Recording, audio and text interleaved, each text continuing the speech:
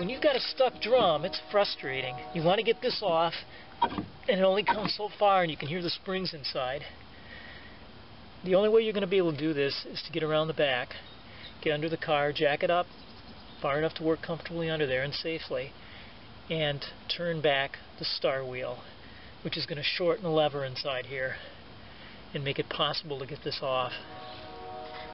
So what you're going to be using are a couple of straight blade screwdrivers, kind of a longer, thinner one to push back the locking lever, and a wider one to actually turn the star wheel.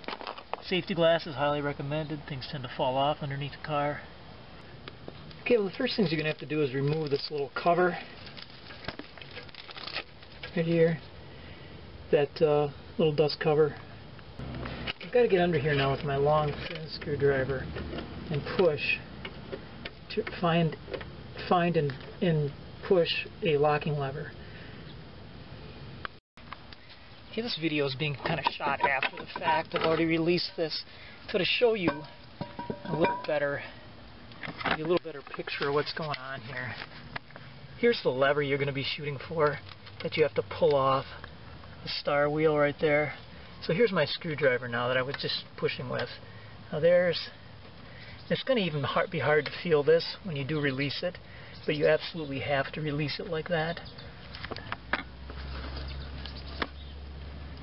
So there we have it released. And now I have to get under here with another screwdriver and turn the star wheel. Coming in with the other one.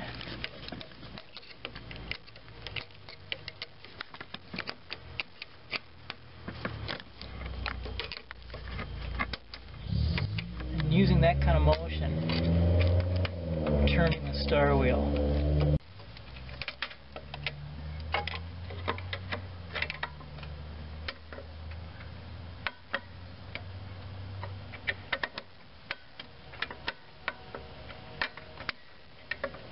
in this direction downward. You can see we're shortening this lever on top here. Basically shortening it in order to bring the brakes together.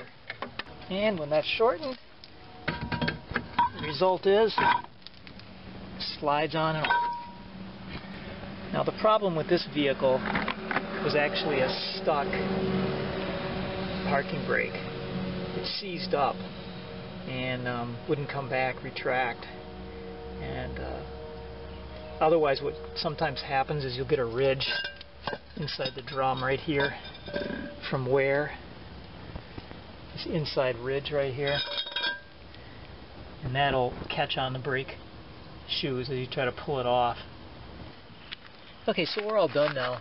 What you want to do when you put it back together is adjust the parking brake back, the uh, star wheel back in the other direction so that when you push this drum on, you're basically very close the final position on the on the uh, brake shoes. We'll just we also we also did here is, is lube it up. We had a problem with a sticking brake, so I've got some uh, lithium grease in here, lubing it up so it all moves freely now. Just bolt it back up, torque everything back, and we're all set. Thanks for watching.